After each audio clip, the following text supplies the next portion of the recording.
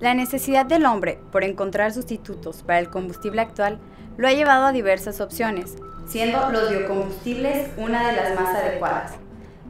Además de ser amigables con el medio ambiente, tal es el caso del etanol. Acompáñenos a ver cuál es el proceso de extracción y elaboración de este.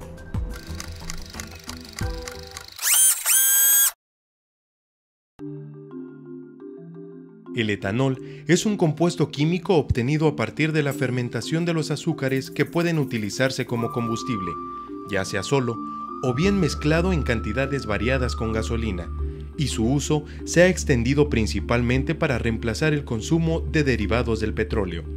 En el área de ciencias básicas e ingenierías, en la carrera de ingeniería química, se desarrolla el proyecto de destilado y utilización del etanol como biocombustible lo cual es un gran paso en la elaboración de sustitutos para el combustible actual y que además sea amigable con el medio ambiente.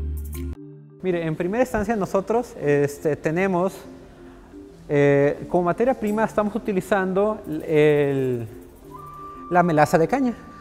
Bueno, como decíamos, este, tenemos donaciones de parte del ingenio del molino, este, nos regalan 400 litros de, mensualmente de melaza, son las que tenemos aquí.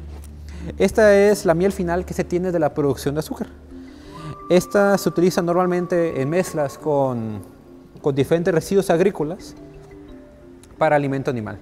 Nosotros tomamos una determinada cantidad, estamos hablando de 20 a 40 litros de melaza y la ponemos en estos seis, en estos fermentadores. Estos fermentadores son este, recipientes de 200 litros, ponemos este, 20 o 40 litros y lo aforamos hasta los 200 litros. Después agregamos una levadura específica, cuidamos pH, cuidamos todas las diferentes características que tiene y después del paso de 2 a 3 días se produce un etanol hasta en un 12%. Después de eso lo filtramos, lo pasamos por esas tuberías y lo metemos a nuestro primer equipo, el cual es un evaporador de doble efecto.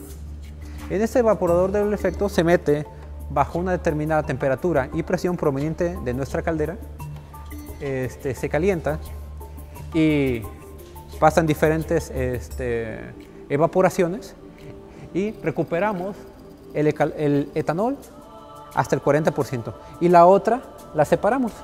Separamos la parte que es alcohol de la parte que es agua. En este caso lo vamos a ir denominando vinazas. También tenemos nuestra torre de enfriamiento para evitar el desperdicio de este líquido. Entra el, entra el agua que sale del proceso, sale a algunos 60, 70 grados centígrados, se mete nuevamente y se mete a proceso.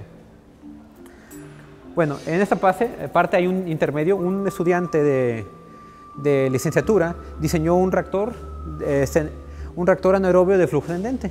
Estas vinazas anteriormente eran un gran problema porque este, anteriormente estas en muchas industrias se tiraban a la, cañería. Esto causaba grandes contaminaciones, ¿por qué? Porque quitan la cantidad de oxígeno en el agua y tiene grandes contaminantes. Nosotros, aunque sea a pequeña escala, lo que queremos hacer es eliminarlas. Este reactor se encuentra de este lado.